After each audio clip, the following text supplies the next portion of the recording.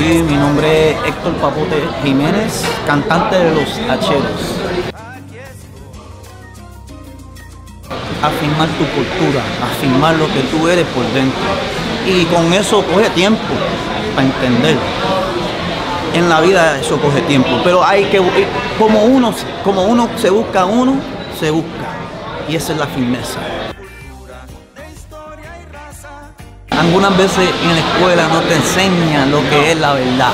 Vamos a decir la verdad, discúlpame, algunas veces me pueden decir que estoy mal, pero la verdad la verdad. En la escuela no te enseña todo la verdad. Y uno necesita buscarlo. Yo creo que la, la disculpa, la experiencia de la vida te enseña más o menos a buscar tu cultura y a saber quién tú eres. La celebración para mí es como un bebé como un bembé. El bembé, cuando los afroamericanos, cuando los, africanos, iba a, ser, iba a decir afro-latino, pero no, los africanos que vinieron de África para, los Américas, vinieron esclavos, esclavitud, estaban sufridos, tenían mucha pena, pero con eso nació una riqueza cultural que es increíble. Para mí es una cosa increíble. O sea que vino de, de lo malo, pero convirtió en lo bueno se convirtió con una riqueza cultural, una, riqueza color, pero para mí la celebración es un bembé.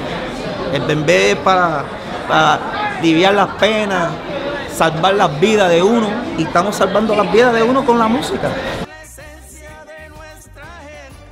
Bueno, el término que yo puedo explicar es que yo soy, yo soy, yo soy boricua, soy puertorriqueño, nacido aquí en Nueva York, es cuestión de identidad, ya yo entiendo, porque nosotros vivimos una vida más o menos, ¿qué es tu identidad?